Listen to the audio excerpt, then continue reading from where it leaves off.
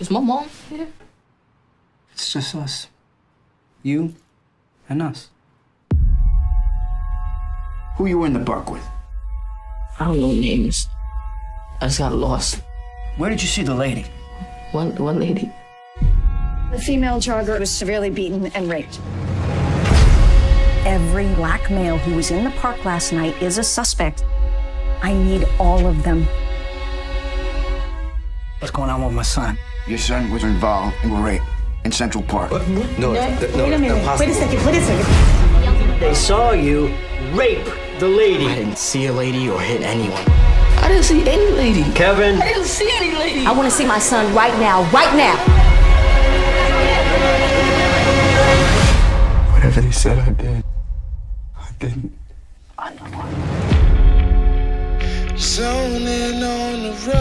Nothing these boys state matches the central facts of the crime. All we need is for one to tie this whole thing together.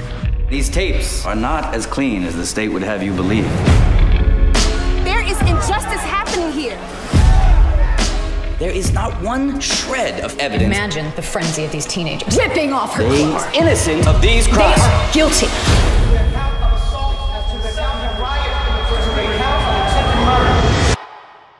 They doing us like this? What other way they ever do us? And I haven't looked back. I've been having these dreams.